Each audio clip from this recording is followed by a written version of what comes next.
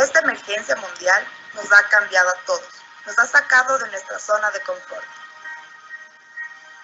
Esto nos impulsa a ser valientes, tener coraje y ser humildes.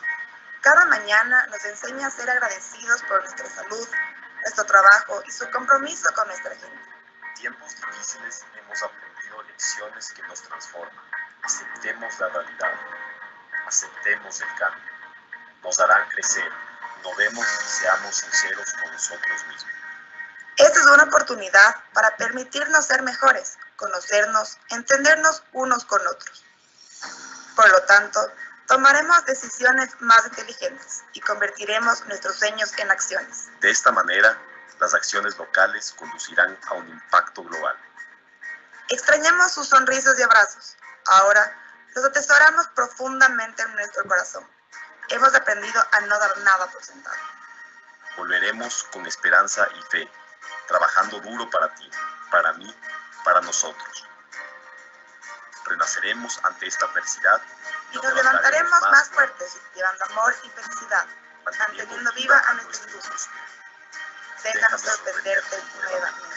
Sin nuestros cuidados las flores no florecerán y sin flores esta mañana no estamos conectados del uno al otro.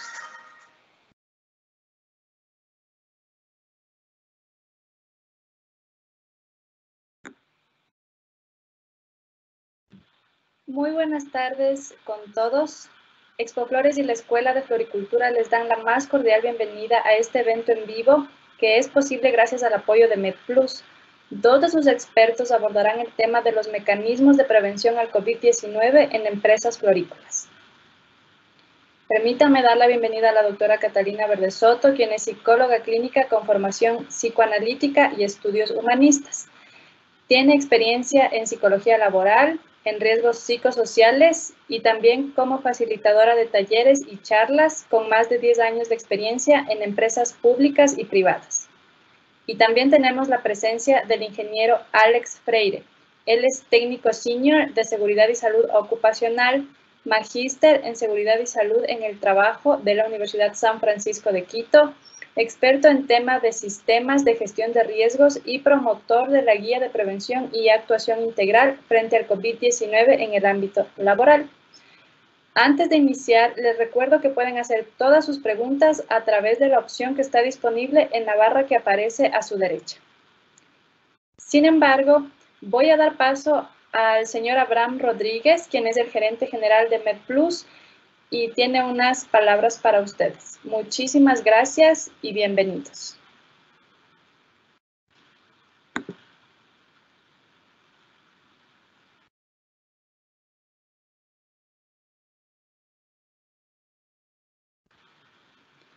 Abraham, ya, ahí le escuchamos. Muchas gracias, sí. Buenas tardes con todos, espero se encuentren bien. Como sabemos, enfrentamos una realidad difícil por la infección del coronavirus en el mundo. Y en todos los sectores hemos recibido pérdidas significativas por esta situación. Sin embargo, nuestra tarea es aportar con nuestra experiencia en el marco de la salud laboral integral a todos nuestros clientes y asociados con el fin de respaldarlos. Nuestro arduo trabajo en función de cumplir y superar las expectativas nos impulsa el crecimiento y el desarrollo de servicios y herramientas para satisfacer las necesidades del empresario en la gestión de la vigilancia de la salud de sus colaboradores, por esta razón, enfocamos nuestro servicio en entregar respuestas rápidas con nuestro contingente en lo que se refiere a exámenes ocupacionales, pre y post ocupacionales, implementación de dispensario médico con profesionales de primer nivel, asesoría técnica con personal calificado en seguridad y salud ocupacional, charlas para el cumplimiento del programa requerido por el Ministerio de Trabajo, campañas de diferente índole para el cuidado del colaborador y productividad de la empresa, tales como diabetes, cáncer de mama, virus del papilón humano hipertensión, enfermedades gastrointestinales y campañas de desparasitación. Actualmente, para apoyar a las empresas en emergencia frente al COVID, desarrollamos protocolos de prevención para empresas, enfocados en la creación del manejo de seguridad en la parte técnica y médica, paquetes especiales de laboratorio con exámenes sugeridos por la Organización Mundial de la Salud, campañas de inmunización para enfrentar esta pandemia en el campo laboral, toma de pruebas rápidas si son solicitadas por la empresa, todo esto acompañado de charlas con direccionamiento técnico a los colaboradores para reactivar la producción de una forma segura. Por esta razón estamos presentes en este evento apoyando a la gestión de la Escuela de Floricultura con profesionales que trabajan de la mano de MedPlus. A continuación les dejo con la doctora Catarina Verdesoto. Muchas gracias.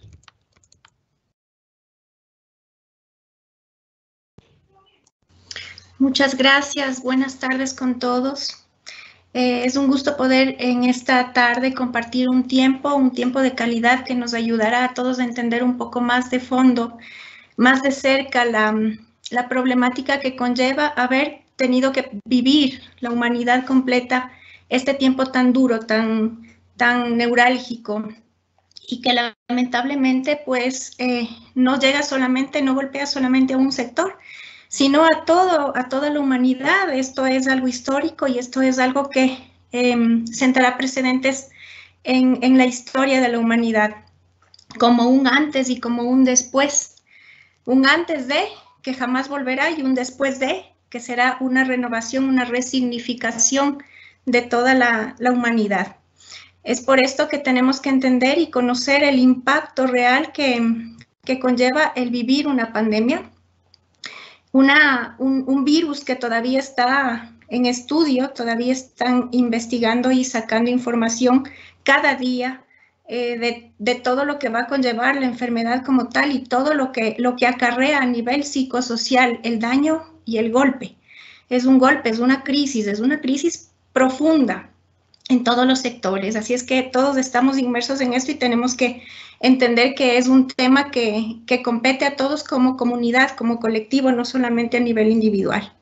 Entonces voy a compartir en este momento unas eh, diapositivas eh, que quiero que vean y me van a decir si es que está claro, por favor, para, para todos. A ir a explicar. Muy bien, eh, ¿Lo, pueden ver? Sí, Catalina. Perfecto. Voy a apagar mi cámara para poder eh, mejorar la calidad y que, y que puedan y que pueda verse mejor. Bueno, eh, ¿qué pasa?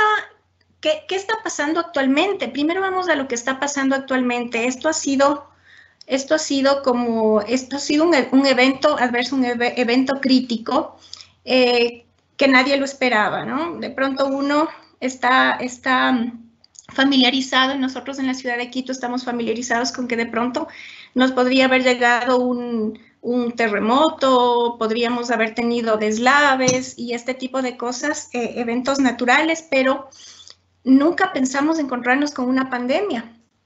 Entonces, ahora, el, el momento que estamos viviendo actual eh, es eh, de preservar la vida. Básicamente es preservar la vida, pero ¿qué pasa después de que pase esta, esta, esta cuarentena, esta, este tiempo en el que estamos en aislamiento?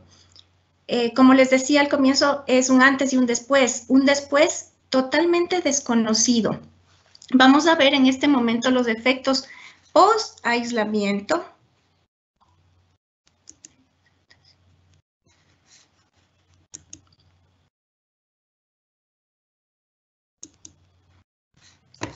cómo nos sentiremos y cómo nos sentimos en la actualidad.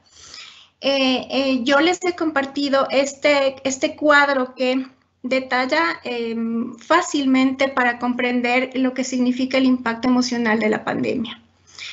La llamada, hay un nuevo virus en China, todos conocimos eh, en enero que empezó la, empezaron las noticias a decir que, a, informarnos que había un nuevo virus en China, pero nosotros lo veíamos como algo muy lejano. Em, tuvimos esa, esa época, esa etapa de negar hasta como hace un mes, más o menos negamos la posibilidad de que esto nos pudiera ocurrir aquí. Lo veíamos tan lejos que no, no podíamos imaginarlo en nuestro real. Solamente en nuestro imaginario estaba que China estaba sufriendo eh, una, una crisis eh, una crisis eh, por este virus. Eh, luego viene la rabia. ¿Por qué, ¿Por qué no se han tomado medidas antes? ¿Qué es lo que pasa cuando ya llega esto a afectar a, nuestro, país? Viene la rabia. ¿Qué? ¿Por qué no han hecho? ¿Qué, pasó? eh, cómo no tomaron medidas antes, por qué no se han tomado las medidas necesarias para poder em, hacer un cerco, em, cerrar fronteras y que, y que no, este, este virus, esta, esta realidad tan terrible nos llegue a nosotros. Después viene el miedo, ¿qué va a pasar? ¿Y si, y si me enfermo? ¿Y si no hay eh, medios para la cura? ¿Qué pasaría? Entonces este miedo ya forma parte de nuestra vida. Estamos viendo que empezamos en una curva crítica, ¿no? Y viene la aceptación. Estoy triste, me siento vulnerable porque empiezo a sentir el golpe ya de la, de la afectación como tal en mi realidad de vida.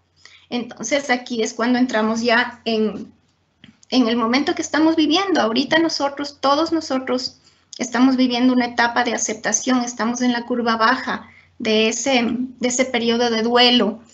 Eh, quiero que eh, en este cuadro quiero reflejar eh, como una analogía haciendo a las etapas del duelo, de lo que se vive cuando pasamos por una crisis. estamos viviendo en esta etapa en la que necesitamos saber hacia dónde ir. Y parte de la, del salir adelante en una crisis como una oportunidad es la aceptación. La aceptación nos trae el pensar en los nuevos hábitos y en la confianza, en que si me cuido, si es que hago el aislamiento, veo la oportunidad de aprender, de aprender todo lo que nos está generando esta crisis. Ayudo a otros, confío en lo que me, están, está enseñando esta crisis y pues por consiguiente eso me vuelve una persona resiliente. Ya ven, ya vemos en el último punto en donde ya vemos de la pandemia eh, eh, o que pasará paulatinamente. Y entonces llega el momento de decir, porque yo he, he tomado este cuadro, porque es importante señalar que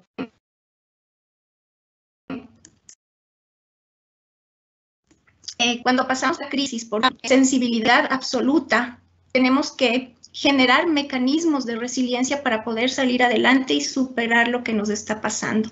Y ahora la humanidad completa tendrá que generar mecanismos de resiliencia que si no teníamos nosotros en nuestra personalidad, en nuestra conducta, fáciles de mecanismos de resiliencia, las tenemos que crear. Esto es, es una con necesaria diapositiva.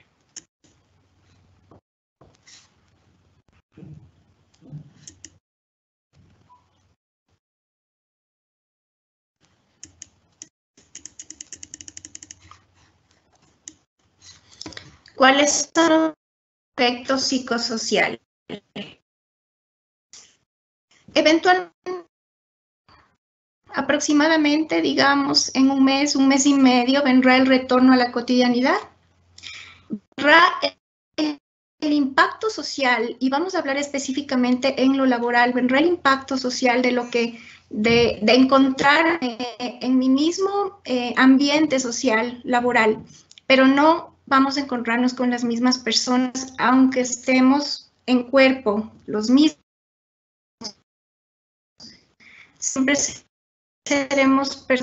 Esto va a, generar em, inevitablemente una definición de nuevas realidades, eh, porque cada uno vendrá de pasar experiencias únicas e individuales y eh, en medio de la colectividad jamás podremos ser los mismos. Tendremos que adaptarnos a nuevos tendremos que aceptar una nueva realidad.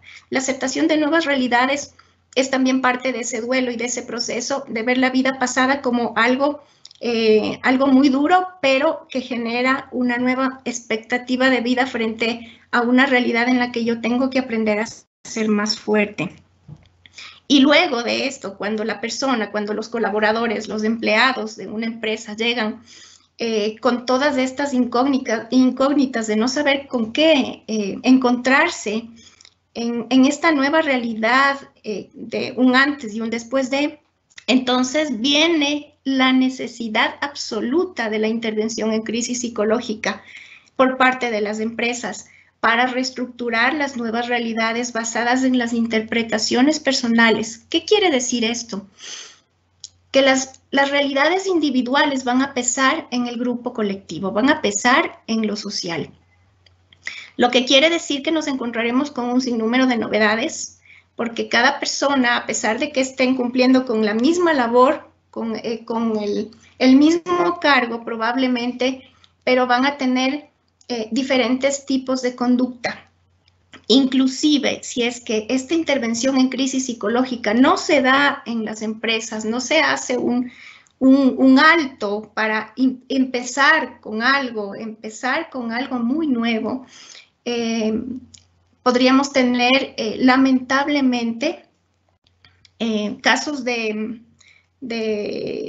suicidios, de personas que quieran, no soporten la nueva realidad a la que están expuestos porque va a haber problemas económicos, va a haber dificultades familiares, van a haber duelos no resueltos a causa de pérdidas familiares y esto pues obviamente desestructura a la persona en su psiquis y es muy probable que em, aparte de la, de la pandemia por la que estamos pasando, después tengamos que lamentar vidas humanas, pérdidas de vidas humanas a raíz de una mala decisión que es el suicidio. Entonces, esta intervención en crisis psicológica es sumamente importante para preservar la vida como principal característica y segundo, para generar mecanismos de resiliencia en todos los empleados de una empresa.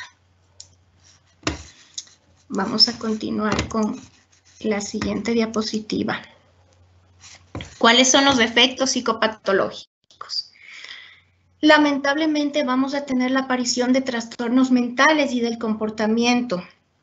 La mayoría de los trastornos mentales y del comportamiento que están dentro de la clasificación internacional de enfermedades, eh, las vamos a tener, lamentablemente.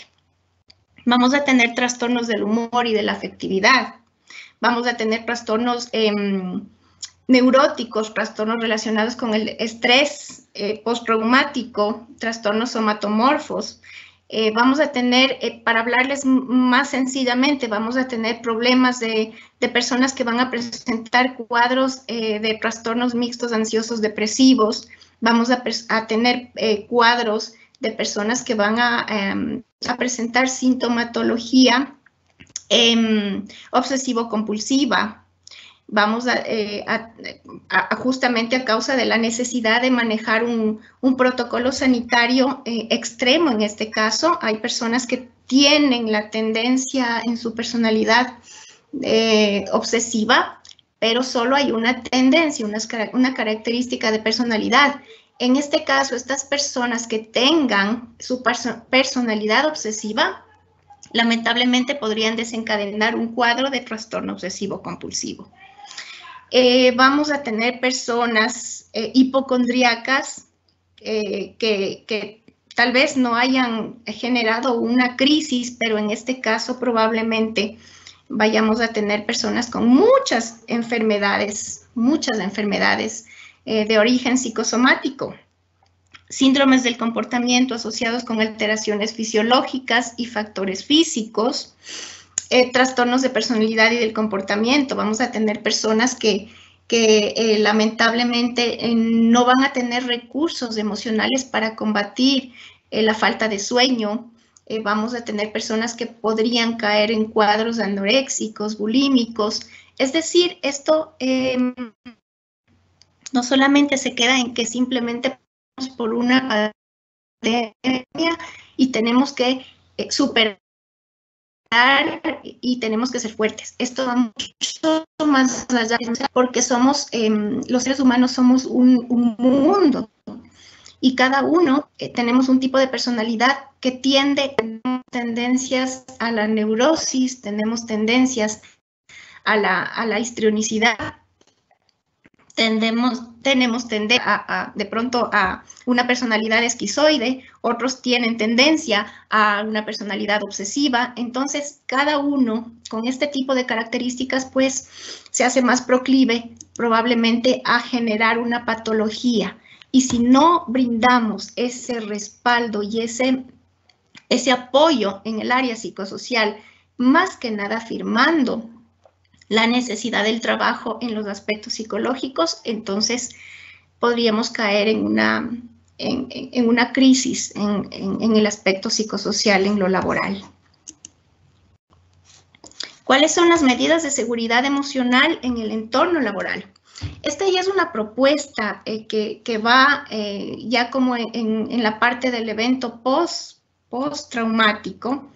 Eh, sería generar como puerta de entrada, de ingreso, de, un nuevo inicio, un startup, un reinicio, una puesta en marcha, en donde se, se brinde una catarsis, un espacio emocional de catarsis grupal post-evento traumático, en donde toda la gente cuando vuelve a su, a su normalidad, entre comillas, pueda tener este espacio de catarsis. La catarsis es, es expresar, es sacar toda la carga emocional que hemos venido guardando y que en el momento del reinicio, de la puesta en marcha de nuestro, nuestros labores, eh, podamos eh, llegar descargados y qué mejor hacerlo en el espacio en el que es nuestra primera casa, porque al final el espacio laboral se convierte en nuestra primera casa y el espacio del hogar se convierte en nuestra segunda casa. En, en, esta pandemia hemos vuelto a lo que debería ser nuestra casa, nuestro hogar como primer hogar y nuestro trabajo, pues lo hemos dejado ya a esto, a las videollamadas, que bueno, son un buen mecanismo, pero pero realmente em, necesitamos sentirnos como de vuelta en casa y generando el menor impacto psicológico. Como segundo punto, deberíamos hacer una intervención psicológica individual, apertura de fichas psicológicas, diagnóstico, seguimiento de cada uno de los casos. Eh, em, esto es imprescindible. Eh, tener una, asesoría de parte de un psicólogo clínico que se haga cargo de cada una de las personas, poder determinar qué tipo de personas necesitan una intervención psiquiátrica, eh, em, determinar si es que, es factible también em, de, em, una intervención en, el área médica para eh, descartar posibles eh, cuadros hipocondríacos y posibles cuadros de en los que realmente veamos que, podemos tener todavía posibles COVID positivos. Y como tercer punto, siempre imprescindible empezar y arrancar lo más pronto posible con charlas colectivas, con el abordaje de diferentes temas relacionados a la resolución de un duelo colectivo evento traumático, desmitificación del COVID-19, hablar muchísimo acerca de la resiliencia y generar también eh, en estas charlas la motivación y, la necesidad de salir adelante después de este evento traumático. Vamos con la siguiente. Ya acabamos, no me voy a alargar mucho, no se asusten. ¿Qué esperamos? El aprendizaje. Eh, después de haber tenido todo esto, después de haber abordado en, la parte psicosocial, esperamos que este tiempo eh, sirva para demostrar que es falsa la creencia de que la mayoría de los problemas que tenemos son personales. No lo son. Son problemas colectivos porque todos somos interdependientes. ¿Qué quiere decir esto? Que nos damos cuenta con este golpe eh, que ha sufrido la humanidad, que todos estamos dependiendo los unos de los otros y que es necesario que siempre pensemos en comunidad, en conjunto, porque uno solo no hace nada. Todos tenemos que apoyarnos y tenemos que salir adelante. Y si lo hacemos juntos, pues vamos a, remar a un mismo lado y obviamente una empresa va a salir adelante si es que todos ponemos de parte y todos nos ocupamos de los que están a nuestro alrededor. A partir de ahora debemos tomar conciencia que un mundo distinto ha de ser posible y que nos necesitamos los unos a los otros porque en la individualidad somos muy vulnerables. ¿Cuáles son las expectativas post-intervención psicosocial? Lo que esperamos es que eh, mediante una correcta intervención psicosocial tengamos la capacidad de tomar decisiones adecuadas, eh, es decir, tengamos la, estemos completamente con nuestras funciones superiores funcionando, atención, eh, concentración, percepción, memoria, que tengamos la completa capacidad de una toma adecuada de decisiones. La automotivación que genere en nosotros ilusión, interés, mejoramiento de nuestra autoestima, el descubrimiento de nuevos valores que los habíamos dejado a un lado y ahora gracias a este remesón nos damos cuenta y observamos de una manera diferente la vida. Despertar de la conciencia de que pueden ser capaces de superar las dificultades y tolerar las frustraciones. Vamos a aprender con esto y con, con este encierro forzado a tolerar muchísimo las frustraciones porque tenemos que aprender a, primero a, vivir en comunidad en nuestro hogar, con nuestra familia. Y después pues nos tocará salir a tolerar y a vivir de una manera diferente también con nuestro medio laboral. Y pues la capacidad de integrar polaridades, la capacidad de, generar, de creer en criterios diferentes y de escuchar, la capacidad de ser, em, de ser más, más escuchadores que habladores, la capacidad de tomar en cuenta opiniones, la capacidad de respetarnos los unos a los otros. Como punto final, quiero dejarles esta, este concepto de resiliencia, que es la palabra que vamos a estar escuchando de aquí en adelante por mucho tiempo.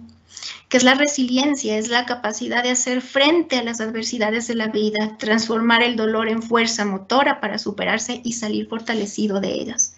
Una persona resiliente comprende que es el arquitecto de su propia alegría y de su propio destino. Eso, eso es todo. Les agradezco por, por su atención y, bueno, eh, esa sería mi presentación. Después estoy abierta a las preguntas.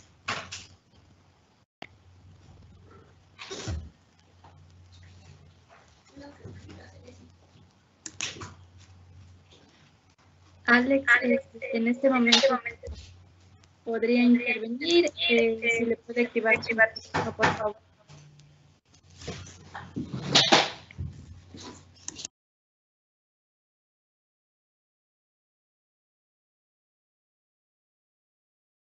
No le escuchamos. Todavía sigue. Ahí sí. ¿Cómo están? Buenas tardes. ¿Me escuchan? Ahora sí. Sí, ahora ¿Sí? ya escuchamos. Ok, listo. ¿Cómo están? Buenas tardes. Qué gusto compartir con ustedes esta tarde. Vamos a hablar un poco sobre la perspectiva técnica de lo que está pasando. Eh, voy a compartir con ustedes una presentación y espero ser lo más claro y conciso en cada uno de los puntos a desarrollar. Si me permiten. Me confirman, por favor. Aquí.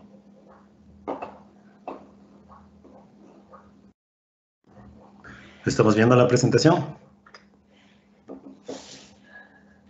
Sí, eh, ya la estamos viendo. Perfecto. Exacto, ahí muy. Listo, vamos a hablar un poco de las técnicas de prevención y actuación para la industria florícola frente al COVID-19. Empezamos eh, hablando de forma general y para hacer frente a un enemigo hay que conocerlo. Así que, ¿frente a qué luchamos? Pues la imagen que ustedes están viendo en el computador es una imagen ampliada del, virus SARS-CoV-2, ¿sí? que es el nombre técnico del virus. Idealmente se dice que eh, el virus proviene de una mutación entre los murciélagos, las serpientes, ¿sí? y también tenemos aquí a estos amiguitos, ¿sí? que se llaman, no recuerdo el nombre, un momento, Ahora, este es un virus, no es una bacteria. Y como tal tenemos que entender cuál es el comportamiento del virus. ¿sí? Eh, tenemos que comprender también que solo ataca a los humanos, se inactiva fácilmente, el virus no muere, el virus se inactiva. El virus puede mutar, de hecho ya lo ha hecho. ¿sí? Nosotros no estamos frente al primer coronavirus que ha existido en la historia. Este virus ha vivido dentro de los animales que estamos viendo durante algunos años y por alguna mutación ¿sí? que normalmente pasan pudo llegar a, al cuerpo humano. Causa daños que van desde lo leve hasta lo mortal, dependiendo de algunas cosas que vamos a ver a continuación. Tiene un tiempo de activación en, las superficies donde pueda llegar a, postrarse. Tiene un tiempo de activación, en cierto momento va a inactivarse. Tiene tres vías de ingreso. El ingreso por la boca, por la nariz y por los ojos. Estas son las únicas tres vías de ingreso para que el virus pueda ingresar al huésped o al ser humano. Está presente en gotículas. Eh, más o menos estamos hablando de un tamaño de 200 a 500 nanomicros, ¿sí? nanómetros, eh, lo que significa que es pequeño, muy pequeñito, pero pesado. Lo que, lo que va a hacer que cuando nosotros hablemos eh, tenga una proyección de hasta 1.80 metros eh, desde el huésped. Por eso los estudios han demostrado que es prudente la separación entre personas de 1.50 hasta 2 metros de distancia. Está presente también en atmósferas médicas. Cuando hay un proceso, cuando hay un, proceso denominado PGA en, la parte médica, se recomienda que el equipo de protección personal sea más amplio. Vamos a ver en un instante también a qué nos referimos con equipo de protección personal. ¿sí? Ok, una vez que conocemos a nuestro enemigo, ahora hablemos de la base fundamental. ¿Qué es el riesgo biológico? El riesgo biológico son los agentes y materiales pot potencialmente transmisibles para los humanos. No es un riesgo nuevo, hemos convivido con el riesgo biológico desde siempre. Los prevencionistas sabemos que de las familias de factores de riesgo existe una que se llama riesgo biológico. Así que debíamos haber estado preparados para un SARS-CoV-2. Quizás no, porque eh, aún no comprendemos completamente lo que este virus representa. Pero definitivamente sí debíamos de haber trabajado en el riesgo biológico de forma general. ¿eh? La industria o cada tipo de industria tiene su riesgo biológico eh, determinado y vamos a, analizarlo. ¿sí? ¿Qué, ¿Qué, factores o cuáles son los puntos importantes que debemos conocer de cada riesgo biológico? Primero, los criterios epidemiológicos. En los criterios epidemiológicos es importante comprender cuál es la fuente del riesgo biológico, cuál es el receptor del riesgo biológico, cuáles son los mecanismos de transporte de los agentes patógenos. ¿sí? Yéndonos un poco al SARS-CoV-2, ¿sí? que eh, produce la enfermedad COVID-19, ¿sí? la fuente eh, en un momento fue un animal y saltó a un ser humano. Pero hoy en día la fuente son seres humanos o son lugares donde el virus ha llegado y se mantiene. Los receptores son los seres humanos que reciben el virus. Los mecanismos de transporte, como habíamos visto, son varios. Uno, a las gotículas que pueden ser esparcidas por la persona que es huésped o por la persona que tiene el virus. También el hecho de tocar superficies o de que los virus ingresen por la boca, por la nariz o por los ojos. Ahora, los criterios de diagnóstico. Hay la susceptibilidad y la vulnerabilidad ¿sí? de cada una de las personas que vayan a estar frente a, este, al riesgo biológico que estemos estudiando. El diagnóstico de laboratorio. Al igual que el SARS-CoV-2 hemos visto virus como la herpes, el HPV, el VIH. Todos estos eh, pueden ser analizados a través de una prueba de laboratorio que se llama PCR, que es una reacción en cadena de polimerasa. Para hablar un poco de forma general, ¿qué es esto del PCR o qué, cuál es el, el examen que define si una persona tiene o no tiene COVID-19? Es un virus, es, una, es un examen en el que se toma la muestra de ARN del virus, se le coloca un complemento, se lo transforma en ADN y por serles gráficos se limpia y se vuelve a conectar, se limpia y se vuelve a conectar a este, eh, a, al ARN, a otra sustancia, para dejarlo en una porción finita de esto y definir si es que es o no es COVID-19. ¿Okay? Ahora, algo que tenemos que definir también de todos los riesgos biológicos que, de, que analicemos o que estudiemos, y en especial el que estamos analizando, que es el SARS-CoV-2, es el nivel de riesgo. ¿sí? Muchas de sus empresas deben tener una matriz de riesgos ya establecidas. Ok, ninguna de sus matrices de riesgos debe analizar hasta este momento al SARS-CoV-2 como un riesgo eh, quizás existente, peor medio y aún alto como hoy en día lo estamos viendo. Tres conceptos súper importantes que debemos conocer frente al COVID-19. Caso sospechoso. ¿Qué significa que haya un caso sospechoso? Y estoy tratando de hacer las diapositivas gráficas para que ustedes puedan comprenderlo e interrelacionen con imágenes. Caso sospechoso es una persona que cumpla con los siguientes criterios, con uno de los dos siguientes criterios. Primero, una infección respiratoria aguda de cualquier nivel de gravedad que incluya gripe, tos o dificultad respiratoria. ¿okay?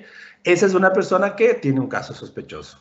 La siguiente, una infección respiratoria aguda, grave, caracterizada por fiebre, tos y dificultad respiratoria y que requiere hospitalización sin etiología identificada. Esto significa que pasó de imprevisto. ¿sí? Ayer estuve bien y hoy estoy afectado. ¿sí? ¿En qué nivel? Depende del organismo de cada una de las personas esa persona tendría un caso sospechoso. Y es importante que recuerden este término porque luego lo vamos a volver a analizar. Caso probable. Persona a la cual se le realizó unas pruebas para el coronavirus COVID-19 y cuyo resultado no fue concluyente por parte del laboratorio o para quienes las pruebas fueron positivas en un ensayo de pan coronavirus. Hemos escuchado de las pruebas rápidas de coronavirus. Ok, un ensayo ¿sí? positivo de, de la prueba rápida no va a dar un caso confirmado, va a dar un caso probable, que luego tendrá que ser analizado a través de una prueba RSP, que la vimos anteriormente, y ahí se volverá un caso confirmado. Caso confirmado dice que es la persona a quien se le realiza una prueba de confirmación del laboratorio, ¿sí? independientemente de los signos y síntomas clínicos. ¿Y por qué es independientemente de los signos y síntomas? Hemos visto que nuestro virus hoy presente dentro de la comunidad ecuatoriana y del mundo, ¿sí? se presenta en personas sintomáticas y personas asintomáticas. Bueno, hasta aquí la parte introductoria. ¿sí? Ahora, veamos cuáles son las principales consideraciones frente, o frente al coronavirus COVID-19. Las principales consideraciones son básicas, medidas higiénicas. Estamos llenos en las redes sociales sobre información que nos va a, ayudar a poder eh, enfrentar a este virus y esta enfermedad, ¿sí? Alguna de esas mal distribuidas, mal enfocadas, con una interacción social no adecuada, ¿sí? Por ejemplo, las medidas higiénicas sabemos muy bien que el lavado de manos es importante, 20 segundos de interacción entre el agua y el jabón, la espuma, hacen que el virus se inactive. ¿Por qué? Porque su cuerpo exterior, al topar, al tener contacto con jabón, pierde la capa de lípidos, o sea, la grasa que cubre el virus, y lo inactiva. ¿sí? Así de simple. También sabemos la técnica de cubrirnos la nariz, cuando tosemos, etcétera. Luego viene el distanciamiento social.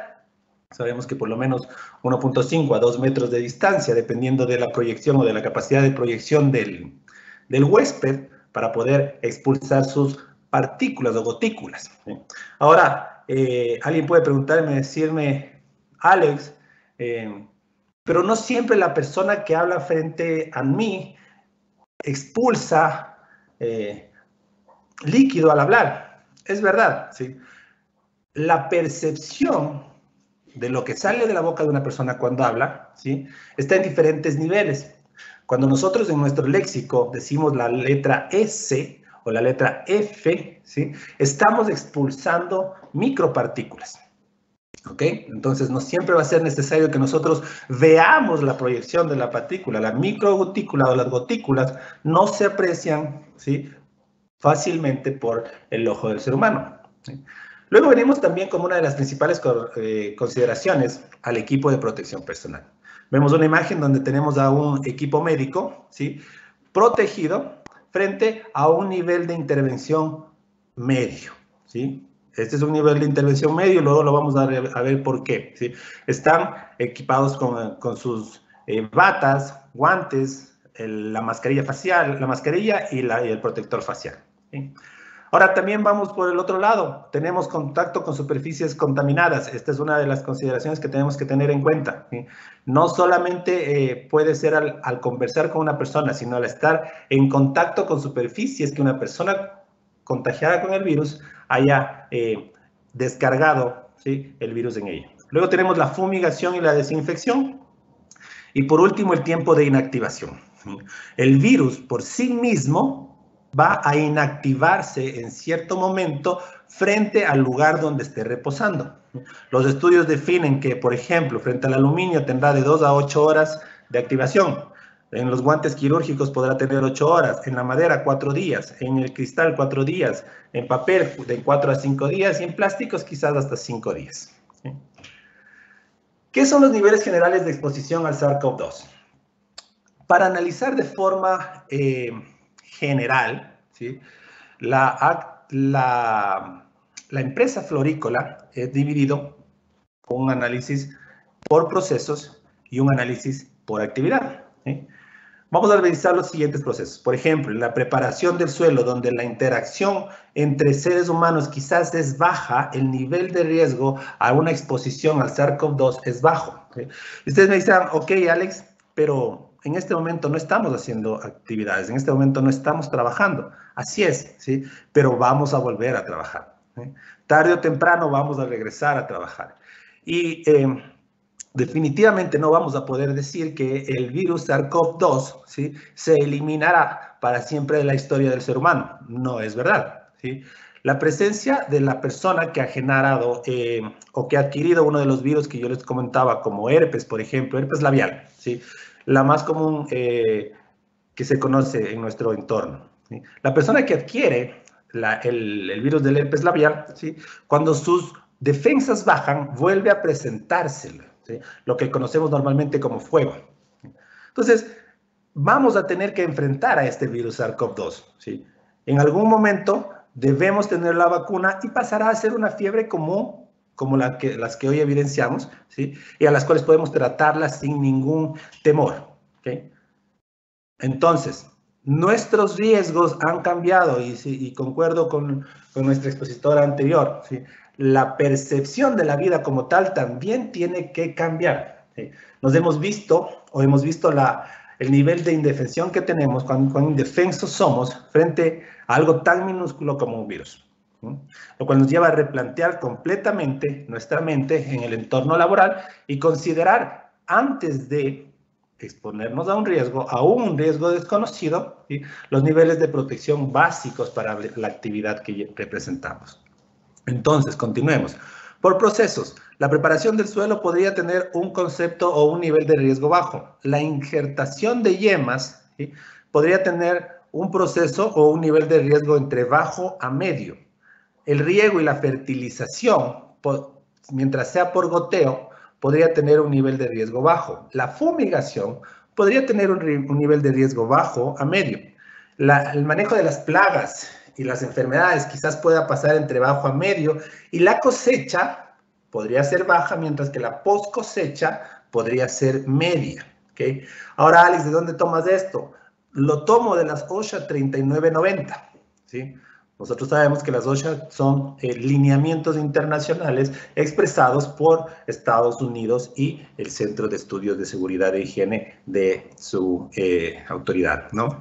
Ellos han definido cuatro niveles de riesgos para el SARS-CoV-2. Bajo, medio, alto y muy alto. Y en muy alto lo consideran única y exclusivamente a las personas que interactúan directamente con el virus y las personas y los casos confirmados. ¿Quiénes son estos? Médicos, enfermeras, pacientes, eh, como es, eh, conductores de ambulancias y las personas de la morgue o que interactúan con los cadáveres. Al no estar dentro de esto, nuestros procesos llegan hasta un nivel medio. Ahora, analicemos de forma técnica las actividades donde podría existir un, un nivel de riesgo frente a este virus o a cualquier otro. En el ingreso y salida del personal, cuando nosotros entramos a la empresa o cuando vamos a la empresa, tenemos una interacción física alta. Entonces puede haber un riesgo alto de evidenciar la presencia de un virus. En el transporte del personal, ya sea en bus, en camioneta, en cualquier transporte que nosotros utilicemos, podría haber un riesgo alto de poder contagiar o contagiar a las demás personas si es que un huésped existe dentro de esa población.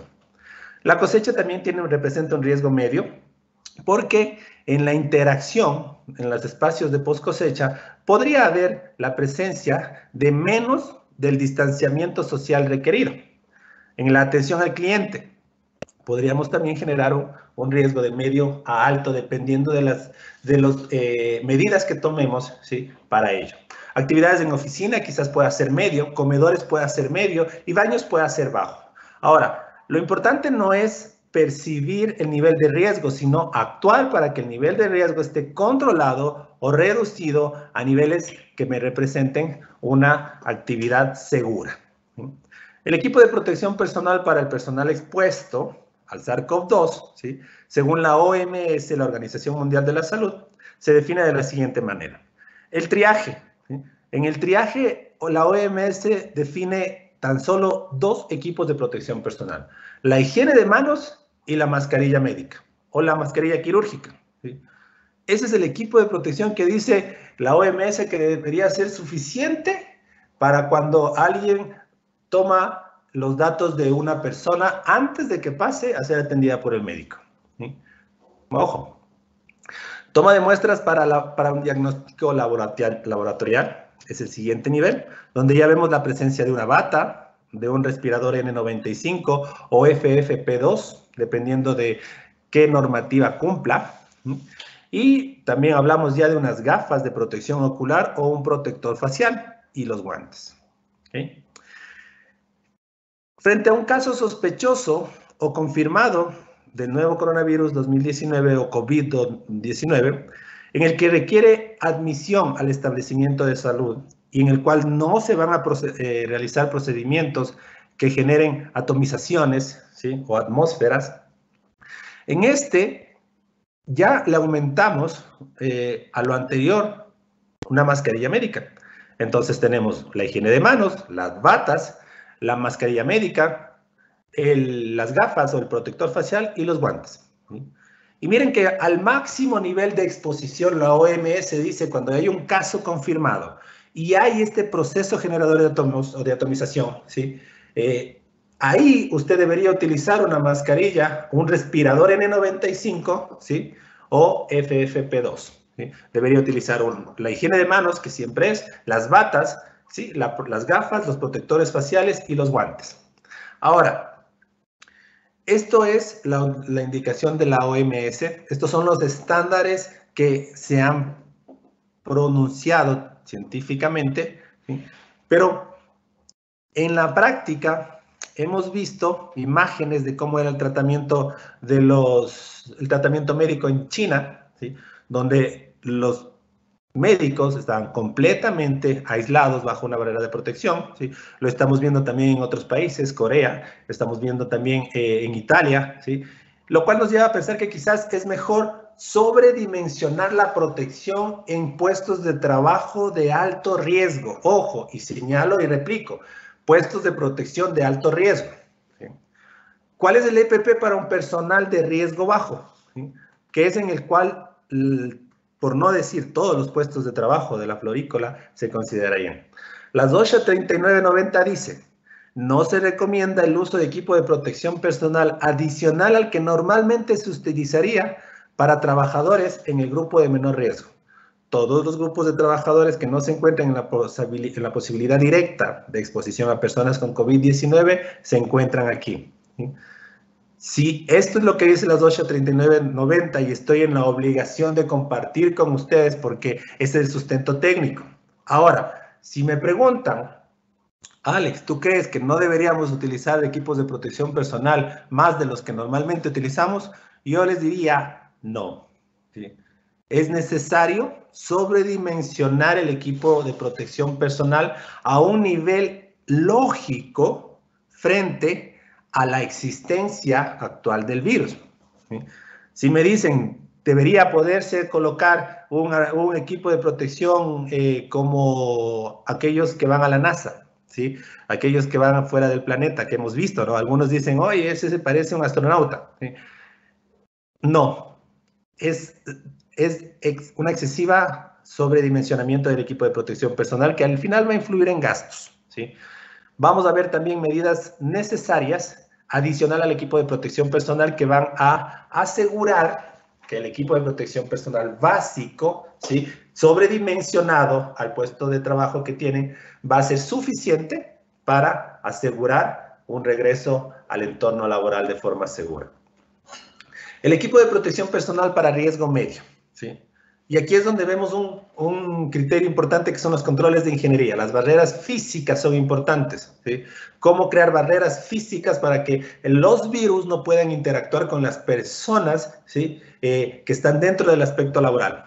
Hoy tenemos una barrera física que es el distanciamiento, pero no es la única barrera física. Vamos a ver luego. Controles administrativos. En sus empresas deberían haber eh, lineamientos como la entrega de mascarillas quirúrgicas o pantallas faciales para casos sospechosos. Y aquí está un criterio que lo habíamos visto al inicio. Casos sospechosos. Si usted regresa el día de mañana a las actividades, ¿sí?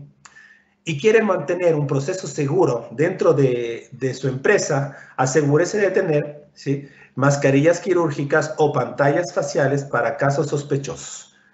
Recuerden que era un caso sospechoso. Empieza a toser, empieza a presentar algún síntoma. Compañero, colóquese una mascarilla, vaya donde el médico. ¿Por qué la mascarilla? La mascarilla tiene una forma, y no sé si podemos ver, ¿sí? La mascarilla tiene dos partes, una parte delantera de color blanco y una parte trasera de color celeste o que cambia el tono. Ok. Cuando me coloco una u otra hacia mi rostro, cuando yo quiero que el cuando yo creo que soy poseedor del virus, cuando el virus está en mí, la parte celeste es la parte que va a ir hacia mi rostro. La parte celeste va a ser la parte que va a ir hacia mi rostro. Si yo creo que el virus está presente en el ambiente y quiero defenderme que no, me, que no llegue a mí, la parte celeste va a ir hacia el exterior, hacia afuera. Siendo claro esto, entonces ustedes pueden saber cómo utilizar la mascarilla quirúrgica en, en los dos diferentes casos. Los mensajes y la comunicación a los clientes es importante dentro de los controles administrativos. Señor cliente, por medida de seguridad usted no puede pasar de esta línea, punto. Eso va a hacer que haya un distanciamiento efectivo entre usted y mi trabajador. Limitar accesos a clientes, visitas, proveedores según corresponda, es, va a ser parte importante. También el teletrabajo. Algo que eh, decíamos era que no vamos a llegar a ser los mismos y las empresas que han logrado sobrevivir este tiempo con teletrabajo van a pensarse las dos veces de tener dentro de sus empresas a los trabajadores que pueden seguir haciendo este trabajo a través de, esta forma. Tenemos también la telemedicina, ¿sí? en la cual ha ayudado mucho a que los pacientes no tengan que acudir a un centro de atención, ¿sí? exponiéndose ellos mismos al riesgo. Y llegamos al equipo de protección personal. Antes de definir un equipo de protección personal, por favor, ¿sí? a los representantes de las empresas y a los técnicos que puedan estar en esta charla, evalúen los siguientes criterios. La función del equipo de protección personal, el ajuste que pueda darse, la capacidad de descontaminación de este equipo de protección personal, la eliminación adecuada y el costo que representa. Si nosotros no analizamos estos cinco puntos, podemos caer en equipo de protección personal no útil, poco, poco reusable, altamente costoso, contaminante, ¿sí? lo cual va a hacer que nuestra gestión sea inadecuada. Estamos ya por terminar.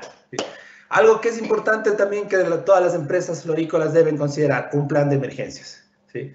Y las, algunas de ustedes van a decir, sí, tenemos un plan de emergencias, ok, hasta este momento su plan de emergencias no sirvió para mucho, lo siento.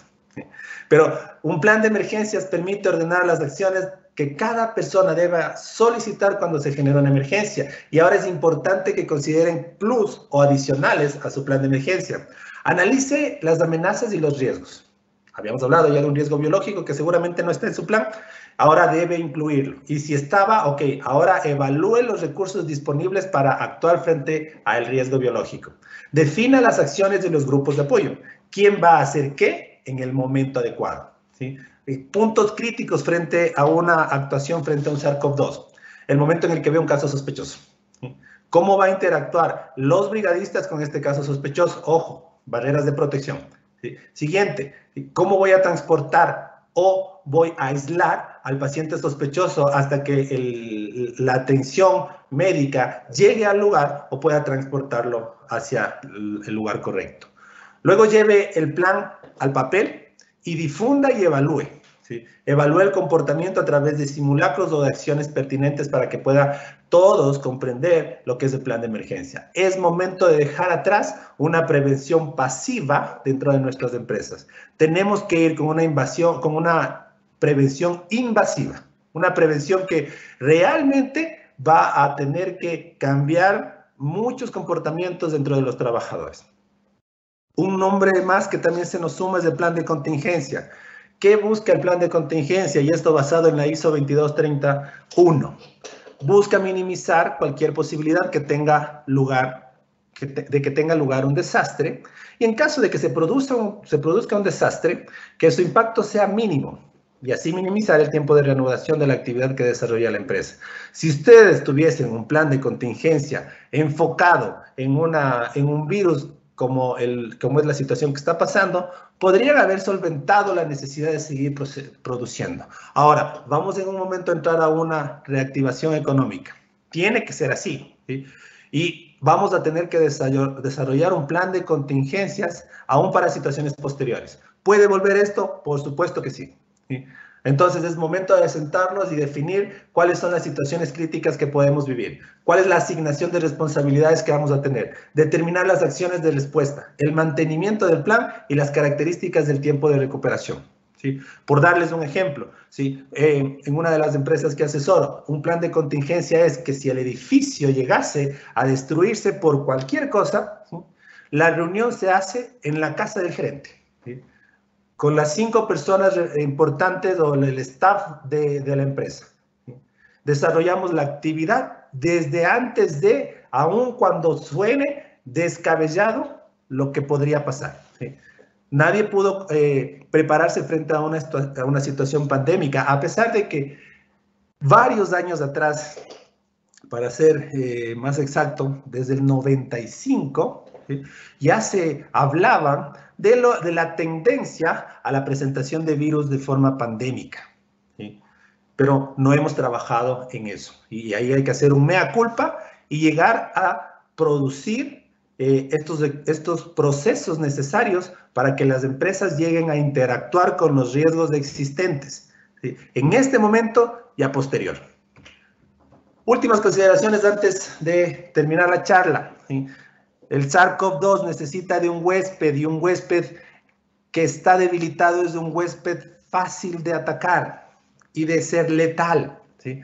Así que desnutrición, enfermedades previas, un sistema inmunológico débil, la edad del paciente o del, del, huésped es importante. ¿sí? ¿Qué significa ahora como empresa? ¿Voy a, prescindir de los adultos mayores o de las personas que tienen enfermedades críticas bases?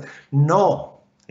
Lo que voy a hacer es asegurarte los, asegurar los criterios médicos para, estos para que estos trabajadores sean más fuertes frente a los riesgos que puedan estar enfrentando. ¿okay? La experiencia, la expertise de una persona adulta es necesaria en muchos procesos. La, la, fuerza del joven también no es, pero la mezcla de ellos hace que una, un proceso operativo sea cada vez más eficiente. También podemos hablar de corredores de desinfección. En esto nos llevaríamos mucho tiempo de conversar, pero para más o menos comprender, hay una zona caliente donde la persona eh, va a estar contaminada, donde su equipo de protección personal está expuesto al virus. Hay una zona tibia donde va a haber un primer filtro o un primer o el ingreso para una desinfección y hay una zona fría donde el, la persona que sale por este lugar ha sido desinfectada. ¿sí? Ojo, desinfección, criterio técnico adecuado. Fumigación, criterio básico adecuado. Sanitización no es correcto. ¿sí? ¿Qué utilizamos? Depende de los productos químicos que requiramos o que tengamos al, al, alma, al, al a disposición nuestra. Se han hecho estudios y no todos los amonios cuaternarios interactúan con el virus o inactivan con el virus en el mismo tiempo. Hay amonios cuaternarios que lo inactivan a los 2 minutos, a los 5 minutos y a los 10 minutos. Todos son amonio cuaternario. ¿De qué depende? De la calidad, la marca, de la disolución y el tipo de proceso al cual se ve eh, relacionado este producto químico. Así que, corredores de desinfección, una posibilidad, claro que sí, cuando sea técnico. ¿sí? Los descontaminación de ambientes, así es, descontaminación gruesa, descontaminación fina, ¿sí? Nosotros tenemos que ir aprendiendo estos conceptos que quizás se quedaron en el aire y que hoy necesitan practicarse de forma más general. Descontaminar de forma gruesa es un trapo que podemos pasar por las superficies. Descontaminación fina es la fumigación. Descontaminación fina también puede ser la ionización, ¿sí? los rayos a través de, de las luces, eh, no me recuerdo el nombre, ¿sí? pero también la luz puede desinfectar entonces, vamos a ir incluyendo dentro de nuestros procesos diferentes conceptos que hoy en día no los teníamos. Hay que tener un protocolo de actuación frente a un caso probable o confirmado, como les decía, saber quién hace qué y en qué momento, qué equipo de protección se va a poner a esta persona, dónde la vamos a guardar, dónde la vamos a, a equipar a este equipo de protección personal. Si se saca el equipo de protección personal, por favor, tiene que ser en una área limpia, perdón, un área sucia, ¿sí? Donde eh, no significa que esté sucio el lugar, sino que la llamo así porque en ese lugar me saco el equipo de protección personal y en una área limpia me coloco el equipo de protección personal. Entonces, antes de pasar del equipo de protección personal que sea reutilizable de una área a la otra área, voy a desinfectarlo. ¿sí? Parecen cosas lógicas, sí, pero no se llevan a cabo. Y, el riesgo eh, o el daño biológico puede estar presente si no lo tenemos en cuenta. ¿ok? Una cosa más, el contagio de COVID-19 dentro de nuestro país es considerado un accidente de trabajo, no una enfermedad profesional. Ojo con esto. Y quizás algunas preguntas, algunas personas digan, ¿y qué, en qué representa esto? Ok, accidente de trabajo desde la perspectiva legal puede evidenciarse desde el primer día de trabajo en la empresa. Para poder denunciar una enfermedad profesional, el trabajador tenía que estar o tiene que estar seis meses o 180 días de afiliación al IES. Entonces, por eso nuestra legislación considera o va desde ya, va a considerar a la enfermedad, al contagio con COVID-19 como un accidente de trabajo. ¿sí? Ojo con eso, por un tema de prestaciones. Ahora, ¿realmente eh, es un accidente? al ser una afectación aguda y no crónica, podría llamarse una enfermedad. Y de hecho va a tener síntomas de enfermedad, por supuesto que sí, pero dentro de nuestro país la legislación ha considerado que se ha visto como accidente de trabajo para que la mayoría de trabajadores que están eh, infectados o que van a estar infectados puedan recibir un tratamiento médico adecuado por parte del el Instituto Ecuatoriano de Seguridad Social. Ahora la pregunta viene aquí. Nosotros sabemos muy bien que el Instituto Ecuatoriano de Seguridad Social es un seguro. ¿sí? Un seguro que, sí, que tiene letras pequeñas. Y dentro de sus letras pequeñas dice que si las empresas no han hecho gestión correspondiente al factor de riesgo causante del accidente de trabajo o de la enfermedad profesional declarada, puede imputársele responsabilidad patronal. Con esto significa que usted tiene, tiene la obligación de hacer gestión frente a este riesgo, ¿sí? Y en caso de poder evidenciar una persona que esté infectada, usted podrá decir, ¿sí? Esto no me corresponde RP para mí o mi empresa, sino es un gasto que debe asumir el Estado. ¿okay? Para terminar, habrá muchas medidas por implementar para disminuir el impacto del COVID-19. Algunas pueden ser efectivas. Debemos sumar las mejores estrategias, buscando siempre una luz y una esperanza. La necesidad de un liderazgo que pueda dirigir estas, estas normas o estas medidas. El fortalecimiento de una cultura organizacional que nos ayude a salir adelante. Necesitamos vislumbrar la importancia de la planificación y la prevención con medidas efectivas, buscando en nuestros empleados la conciencia de la seguridad laboral y personal, la coherencia, la resiliencia y la credibilidad en sus acciones. Tenemos que buscar la proactividad y hacernos cada vez mejores personas y mejores empresas para salir adelante juntos. De esta solo hay un camino y es salir. ¿Cómo? Eso es lo que tenemos que buscar. ¿sí? Yo les agradezco mucho por su tiempo, espero no haberme extendido mucho. Por favor, cualquier contacto uh, o cualquier requerimiento que ustedes tengan, asesorías, consultorías, desarrollos de documentos, ¿sí? tienen ahí los datos de contacto a través de MedPlus, pueden eh, tranquilamente llamarnos. Somos un grupo de profesionales que trabajan de forma técnica para poder asesorar tanto al gobierno como a las empresas y también a los trabajadores en busca de una prevención a nivel general dentro de nuestro país. Muchísimas gracias. ¿Alguna pregunta? Muchas gracias, Catalina y Alex. Eh, tenemos, sí, algunas preguntas. Entonces, no sé si por favor eh, pueden visualizarlas y, y responderlas.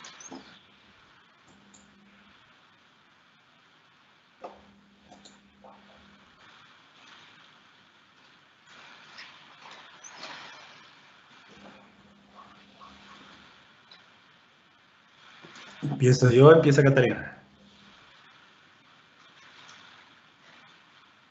Eh, como ustedes gusten.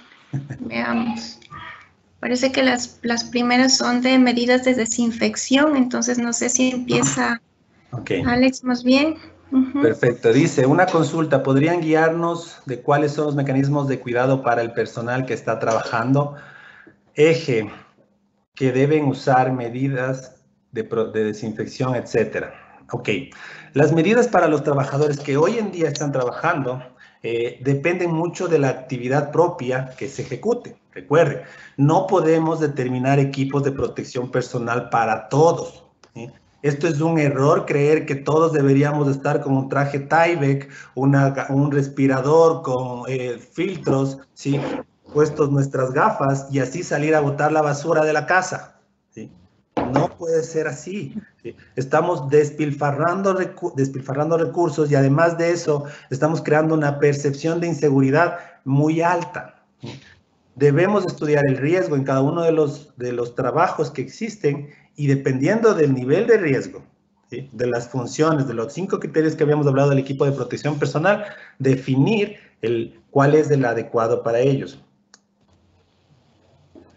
Dice...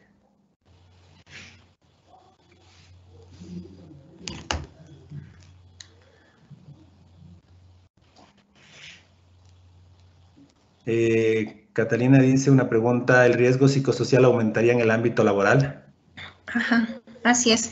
Sí, definitivamente el riesgo psicosocial va a aumentar y las probabilidades de que empecemos a tener enfermedades eh, que antes tal vez no encontrábamos de tipo, de tipo psicosomático se van a dar, se van a dar en gran, en gran cantidad.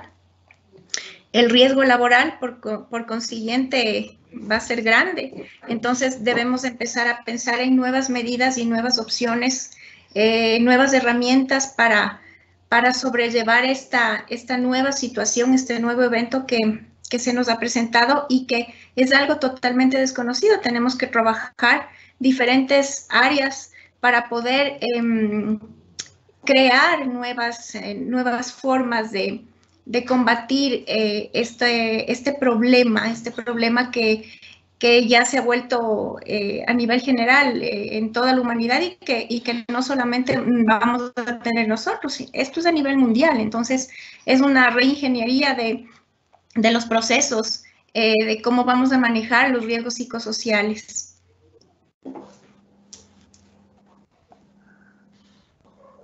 Dice una sobre la Me catarsis. dicen que eh, hablé de catarsis grupal. ¿Cómo la haríamos en la empresa? ¿Cómo aplicamos esto con todos los trabajadores? Bueno, es una muy buena pregunta. La catarsis grupal sería en crear un ambiente efectivo para contención emocional. Lo importante en una catarsis es brindar esa contención emocional em, eh, abriendo un espacio, tendría que ser eh, dirigido específicamente por un profesional en salud mental. Em, ahora hay diferentes tipos de, facilitadores, estamos los psicólogos clínicos con formación eh, en diferentes, escuelas psicológicas, hay los coaches que ahora los mencionamos mucho y que podrían también ser una, herramienta muy buena como para abrir un espacio de, un reinicio, de, un, de una, un, empezar de nuevo. Eh, esto eh, tendría que ser em, necesariamente planificado primeramente con una, un preámbulo de un inicio con las cabezas de la empresa para que manejemos un mismo idioma y empecemos todos de cero, pero arrancando con la misma direccionalidad. Y posterior a eso, obviamente, ya hacer la intervención individual eh, que requiere de un psicólogo clínico y posterior a eso continuar dentro de ya ahora el, em, la planificación y la obligatoriedad de cumplir el, el cronograma que nos manda el Ministerio de, Trabajo, eh, en trabajo en riesgo psicosocial, eh, incluir ya ahora a, este, a esta nueva, nueva forma de tener un riesgo psicosocial, que es, la, es el COVID en el que estamos, con el que estamos viviendo. Es un nuevo riesgo psicosocial, así es que nos tocará incluirlo también dentro del programa anual que exige el Ministerio de Trabajo.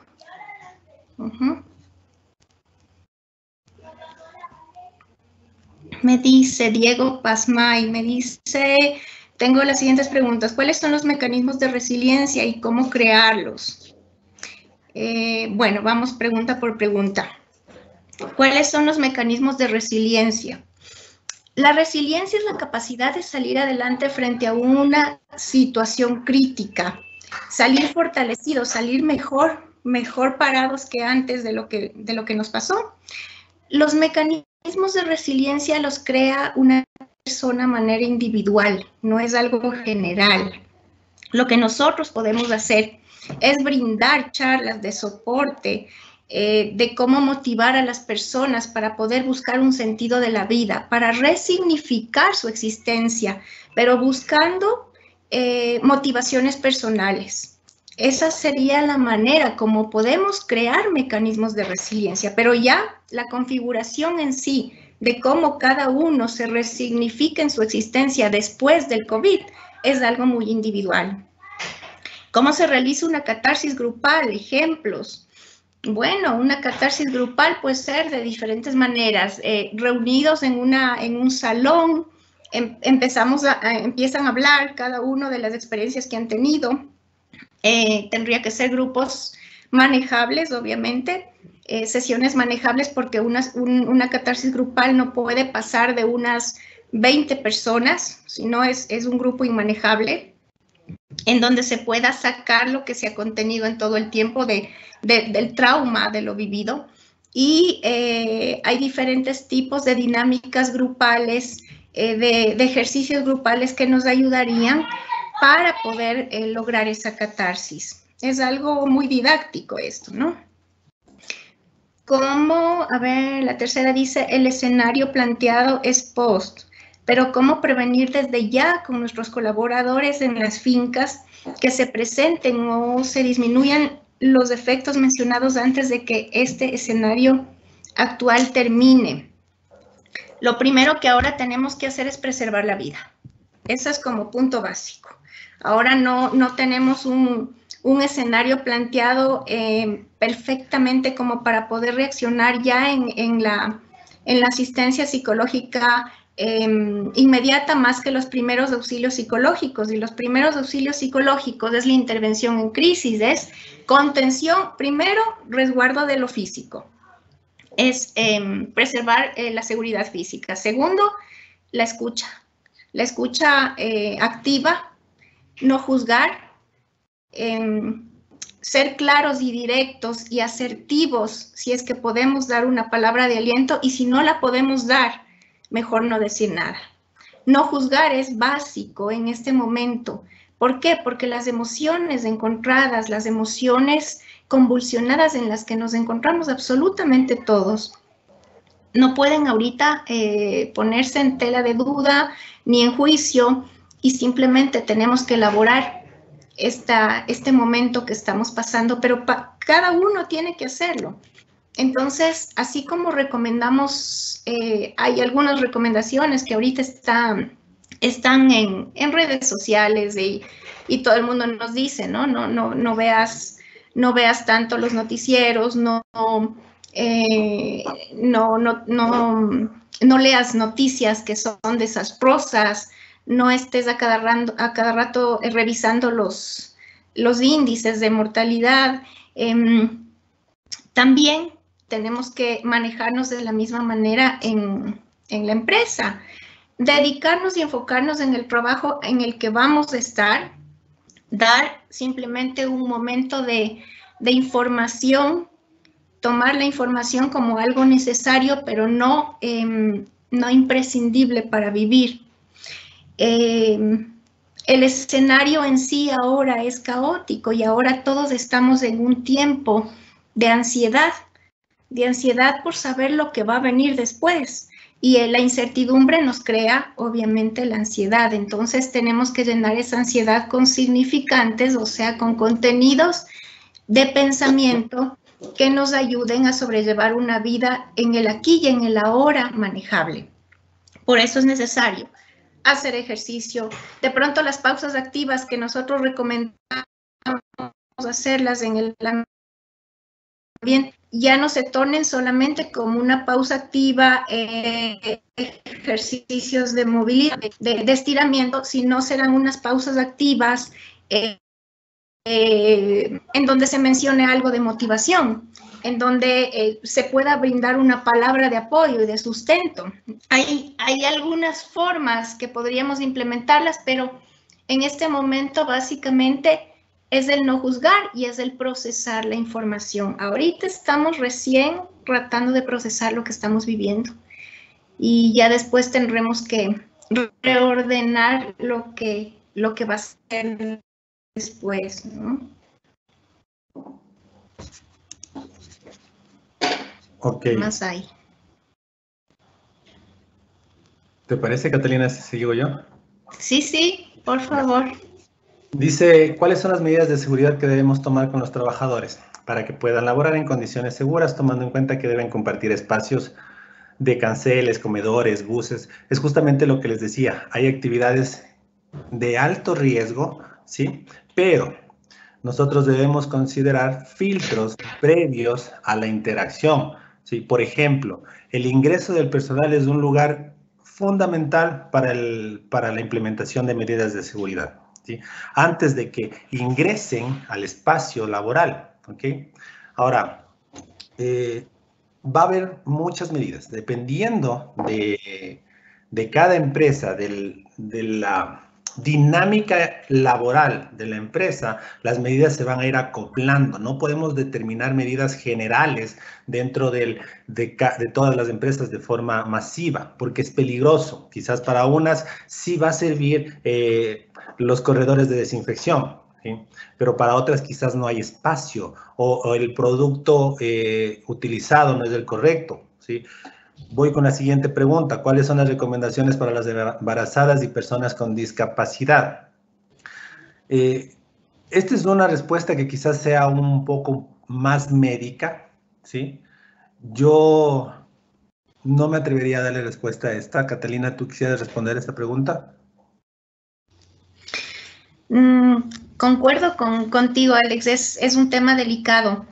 Eh, el hecho de que ya las personas embarazadas y, con alguna discapacidad entran en un grupo vulnerable, entonces debería ser tomadas en cuenta eh, con ciertas prebendas eh, por parte de la empresa, con la prudencia que se requiere para este tipo de, estados de, de cada persona y esto tiene que ver mucho ya con el, área de talento humano. El talento humano tiene que asignar las, las eh, labores, las actividades específicas para las personas eh, tomando las precauciones, em, digamos que mucho más, más fuertes eh, y de cuidado con, con, este tipo de personas.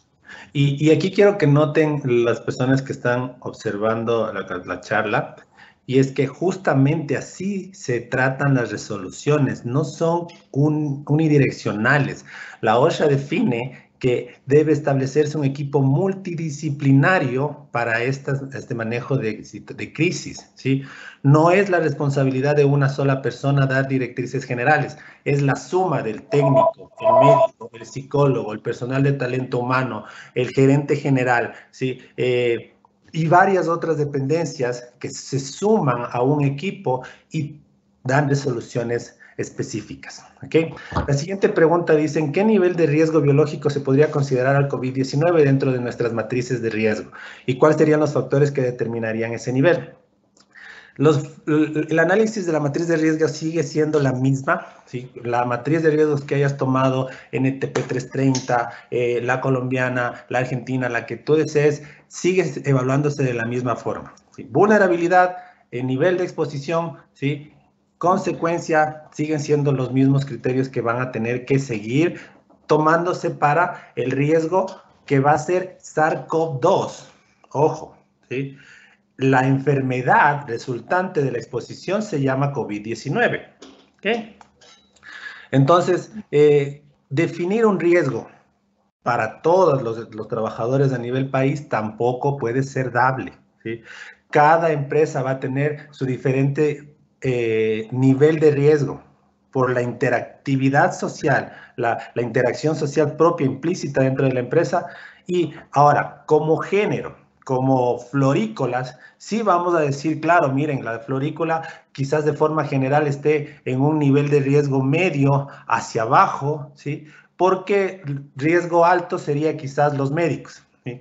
Riesgo medio hacia arriba quizás serían personas que tengan que tener más interacción física, más cercanía durante mucho más tiempo.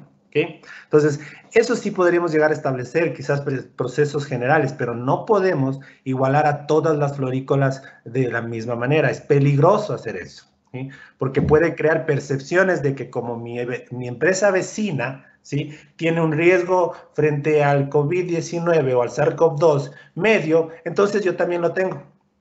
Y ojo, ¿sí? Usted no hizo filtración, usted no, no, trabaja con un médico ocupacional, usted no tiene un registro sanitario de, lo que, de, de los procesos que lleva. Usted maneja de forma distinta su riesgo, entonces tiene un nivel de riesgo distinto.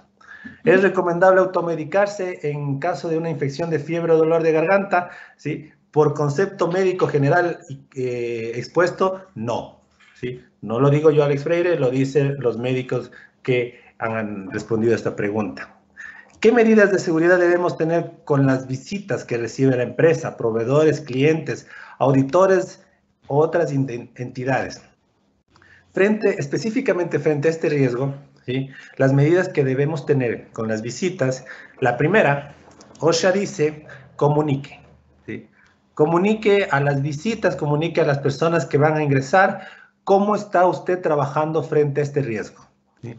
Saben que dentro de esta empresa no se permite que los visitantes lleguen o pasen de este pasillo. O para ingresar, usted tiene que ingresar lavándose las manos en este eh, lugar. Usted necesita ingresar, pero para eso hay que tomarle la temperatura a través de un termómetro infrarrojo. Cada quien tomará las medidas necesarias para su entorno, pero siempre va a haber una eh, una apreciación técnica en cada una de las medidas que se tomen. ¿sí? OSHA define que el equipo multidisciplinario tiene que estar encabezado por un técnico de prevención de riesgos, pero tiene que estar complementado del médico, del psicólogo, de, del gerente general, ¿sí? porque dentro de la interacción de todos ellos, las medidas van a ser efectivas para la empresa que lleve a cabo. Dice, podríamos ampliar información sobre el contacto del virus COVID-19 con sustancias de un, pH alto en la industria y ciertos procesos que están en medio de líquidos de pH alto. Aquí, yo quiero exponerles un, una, un pequeño documento que les va a ayudar a comprender la interacción de los químicos con el virus. Espero que estén viendo un PDF. ¿Sí lo estamos viendo? ¿Sí? Mm, ah, ahora, en este momento. Ok.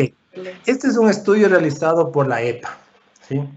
que habla sobre eh, los, los productos químicos que van a inactivar al virus SARS-CoV-2 o al coronavirus COVID-19, el tiempo que van a tener que tener contacto con el virus para inactivarlo. Y aquí vemos al lado izquierdo el amonio cuaternario, vemos el nombre del producto, vemos el nombre de la empresa y vemos el tiempo para poder inactivar. Ahora vemos aquí 10 minutos, pero ojo, más abajo nos eh, vamos cambiando. Miren, este tiene 0.5 minutos de contacto para poder inactivar al virus. Sigue siendo un amonio cuaternario, isopropanol. Vamos viendo, ¿sí? Tenemos hipoclorito de sodio. Entonces, quiero que ustedes, eh, tenemos también contenidos fenólicos. Quiero que comprendan que no todos los productos químicos inactivan al virus de la misma manera en el mismo tiempo. Algunos son diluidos, otros son eh, presurizados. Entonces es una tabla que podría ayudarles a algunos técnicos para determinar cuáles son los productos adecuados para la desinfección, la fumigación gruesa que les hablaba yo y la fumigación fina. ¿Dónde puedo encontrar este producto o este, este documento? En el anexo del documento del IES, que se llama Guía de Prevención y Actuación Integral frente al SARS-CoV-2 en el ámbito laboral, que lo hicimos junto con algunos profesionales, ¿sí? Nos sentamos a conversar sobre lo que es este virus y pudimos junto con algunas universidades nacionales e internacionales poner a, su consideración un documento donde ustedes pueden encontrar una amplias recomendaciones. No van a encontrar específicamente recomendaciones para eh, florícolas, sino va a ser de forma general. ¿Ok? Entonces tienen ustedes acceso para eso, ¿sí? Para que puedan eh, seguir trabajando en la prevención. ¿Ok?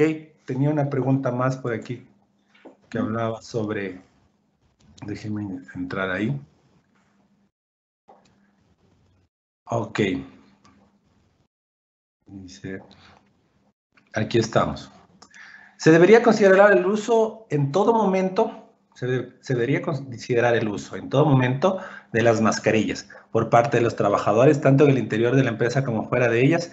Y Edison, tienes una pregunta ha calado en la necesidad de la población humana. Las mascarillas.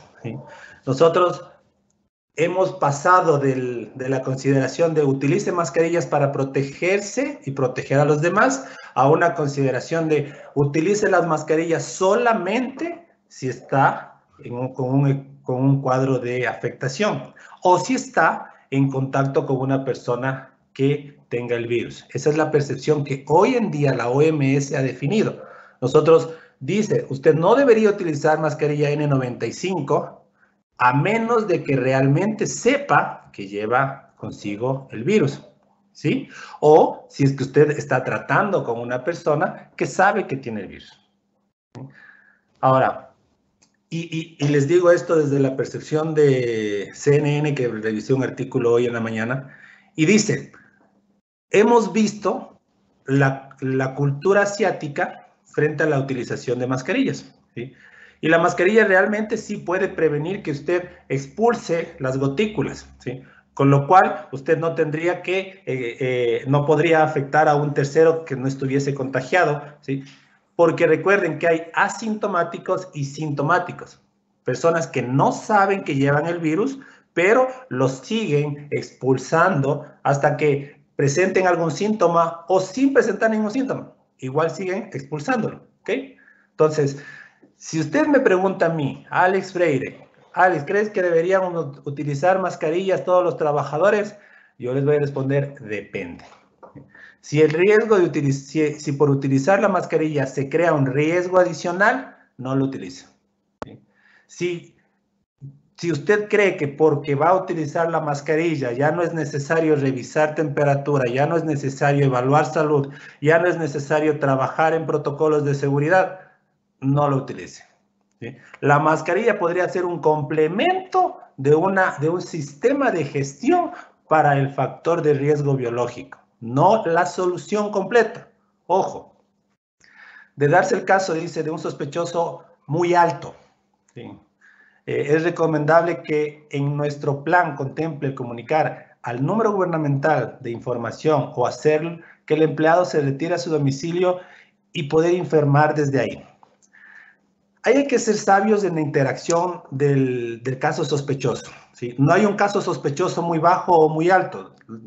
La altura del paciente no importa. ¿sí? Es una broma. En realidad, eh, el caso sospechoso va a ser sospechoso mientras no salga de la sospecha. Si hay una persona que presenta síntomas, esa persona tiene que utilizar su mascarilla con el interior de la mascarilla azul hacia su frente. ¿Por qué? Porque probablemente en él está el virus. ¿Para qué me ponía la mascarilla hacia el interior? Para guardar los virus en ese lugar. ¿okay? Le doy su mascarilla, pasa al departamento médico, el departamento médico lo evalúa, le hace la encuesta necesaria y el departamento médico decide aislar al paciente hasta que entre en contacto con el Ministerio de Salud Pública a través de los números telefónicos registrados o decide que es necesario que el paciente vaya al, eh, a su casa a, a descansar. ¿Sí? Es el departamento médico el que toma la decisión de regresarlo, enviarlo a casa o mantenerlo aislado dependiendo de. ¿Cómo desinfectamos los ambientes laborales y cómo lavamos los trajes de seguridad?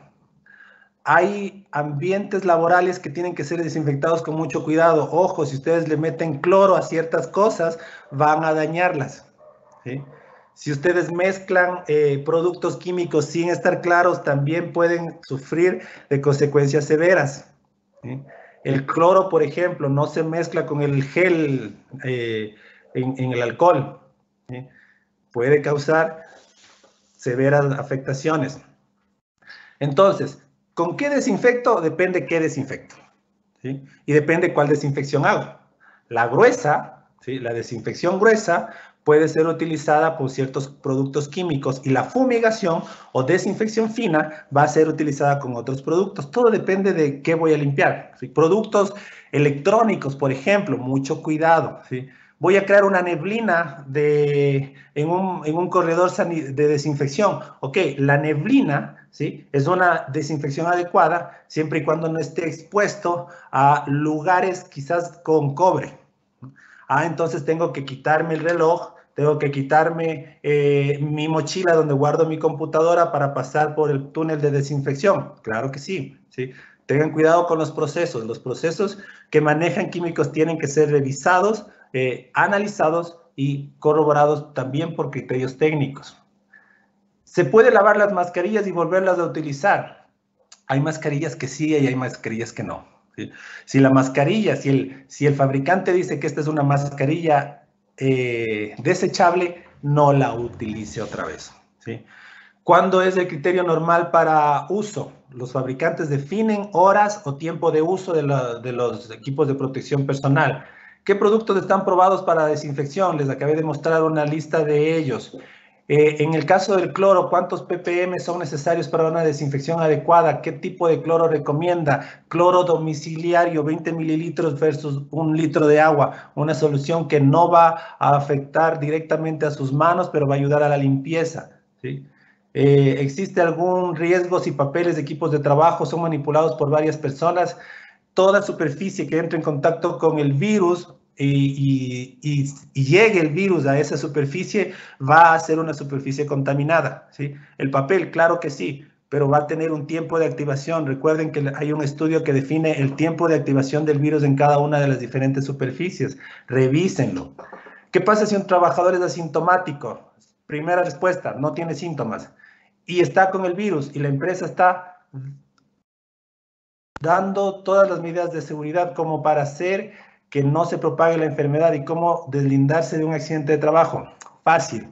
No hay cómo asegurar que ninguna medida de protección sea completamente efectiva, ¿sí? al 100%. Usted puede poner filtros en la entrada, puede medirle la temperatura, puede hacerle pasar por un túnel de desinfección, puede darle mascarilla, guantes, ¿sí?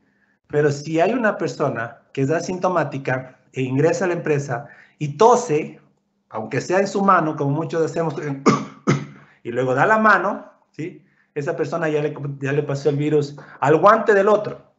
Ah, pero le pasó el guante, sí, pero como tenemos ciertas costumbres de con los guantes incluso tocarnos, eh, meternos a la boquita, a la naricita, tocarnos los ojos, ya se contagió. Entonces no hay medida que usted pueda asegurar el 100%, ¿sí? Hay medidas que nos van a ayudar a reducir.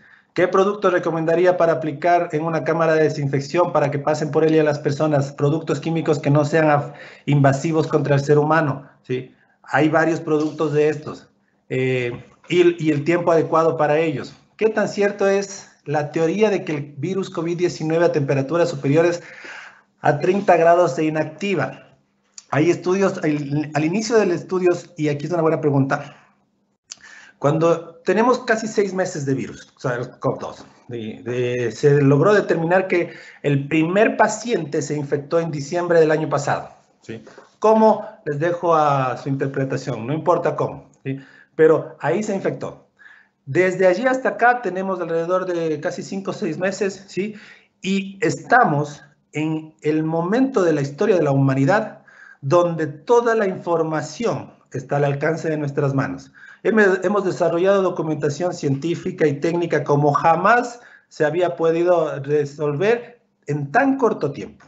¿sí? Y si ustedes me preguntan, ¿el virus se inactiva a temperaturas superiores a 30? Existen reportajes o estudios que dicen que sí, pero en la práctica yo no podría confiar, ¿sí? Porque recuerden que es un virus nuevo, ¿sí? Consideraciones que van cambiando dependiendo del tiempo de estudio. Como medida de protección de nuestros trabajadores les hemos entregado mascarillas, muy bien, y guantes para su uso en el, recorrido mientras se transportan, muy bien. ¿Esto es excesivo? ¿Deberíamos continuar entregándoles guantes o solamente mascarillas? Depende mucho de, eh, por ejemplo, ustedes hacen que sus trabajadores se transporten en un bus, si, si la gente se transporta en un bus, uno está sentado literalmente a 50 centímetros de otra persona, lo cual ya, ya rompió la barrera de seguridad. Puede darle guantes, puede darle mascarillas, pero si el compañero que está al lado viene sin guantes o viene con, el, con la mascarilla de esta forma, ¿sí? ¿han visto a gente puesta la mascarilla ahí? Ok, esto no sirve. Para las personas que utilizan la mascarilla debajo de la nariz. Usted está haciendo que los virus que están en la parte externa de su mascarilla suban a su nariz por inhalación. ¿Sí? Mucho cuidado con eso. Entonces, como les decía, si le va a dar una mascarilla y un guante para y un par de guantes para que solamente se trasladen desde su casa hasta la fábrica y en la fábrica le va a quitar los guantes y le va a dar una mascarilla, quizás sea eh, un gasto excesivo. Pero si esa misma mascarilla es para el uso del día, ok, Porque desde la, desde la casa lo está protegiendo, ¿sí? Y a ver, dice, ya estoy terminando. ¿Y qué deberían usar puesto que esta actividad, al igual que el ingreso y salida, está considerada como de alto riesgo? Así es, ¿sí?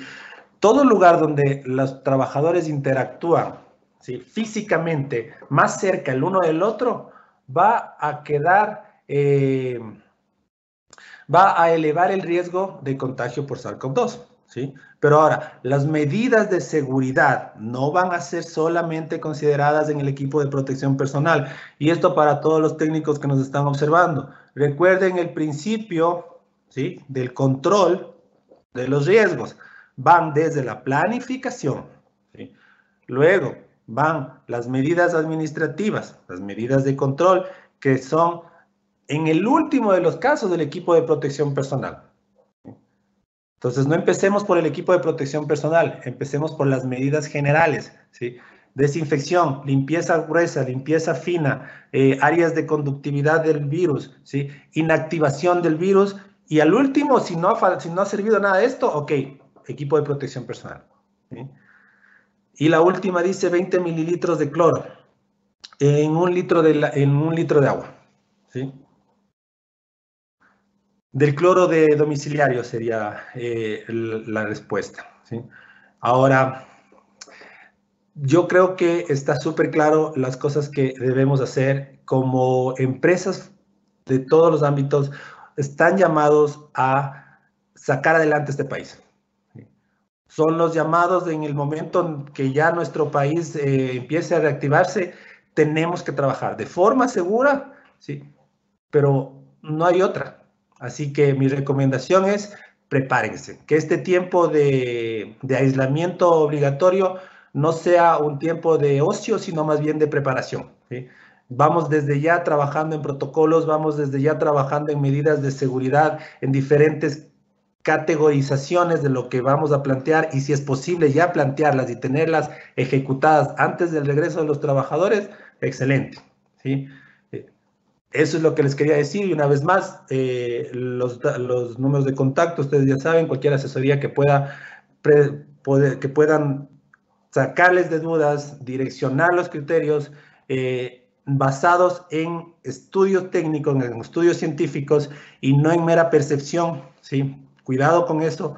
Muchos llegamos a, recomendar percepciones personales, ¿sí?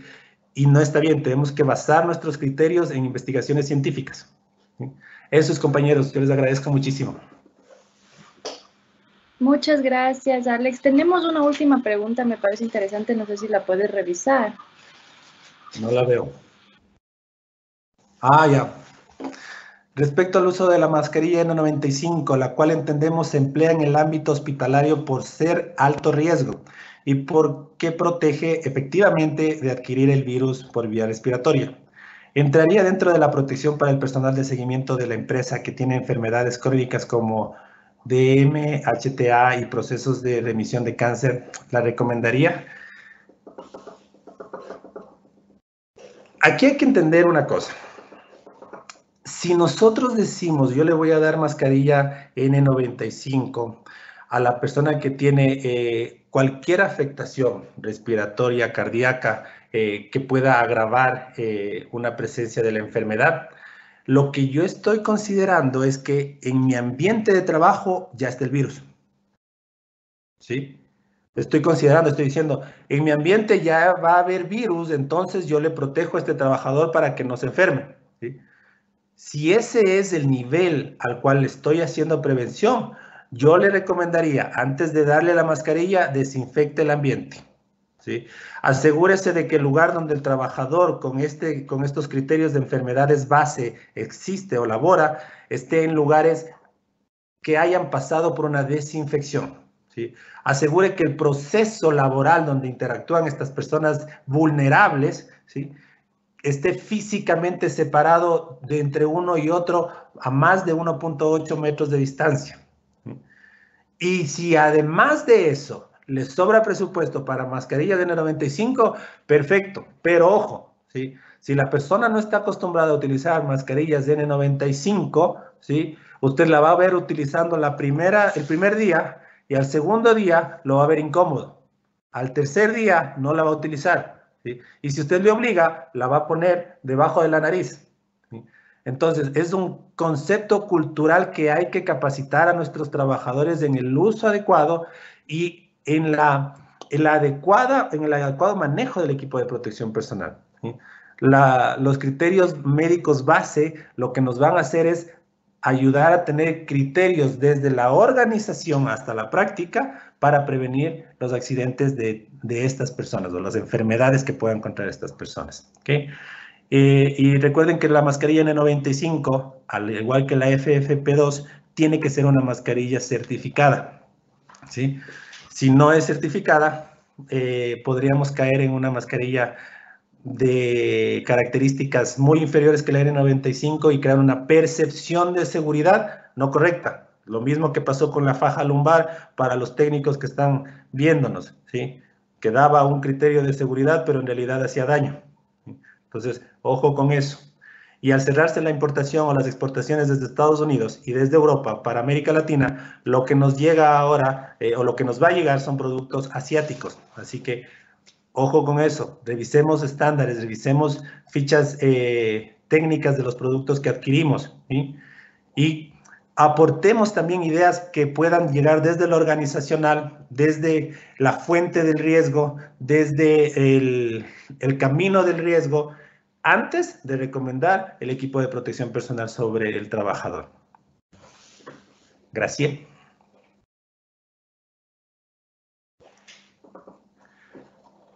¿Alguien más?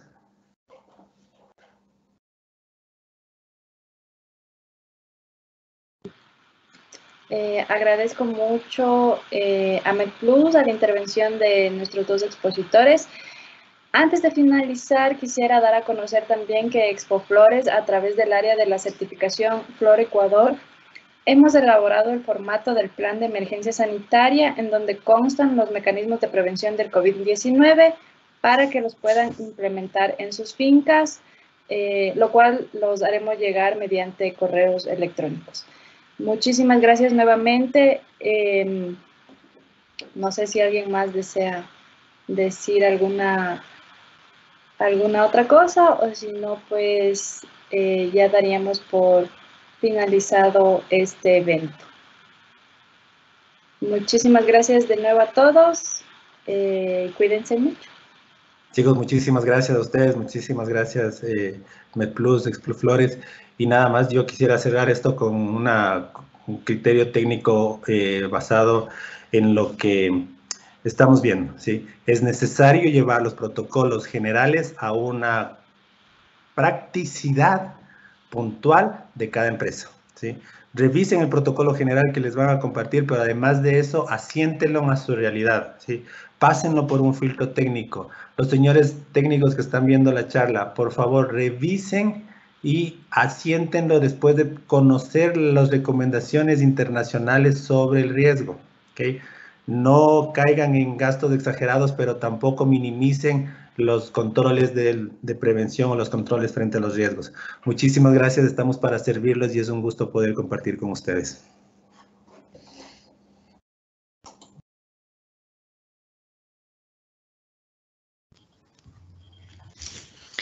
De mi parte, de igual manera, agradecer a todos y, recordarles la importancia de la salud mental en estos momentos críticos en los que nos encontramos. La, preservar la seguridad es lo primero y lo segundo, poder darles esa contención emocional que ahora necesitan sus empleados, que son las personas que se en su familia y son quienes dependen de ustedes y ustedes dependen de ellos. Un abrazo profundo para todos.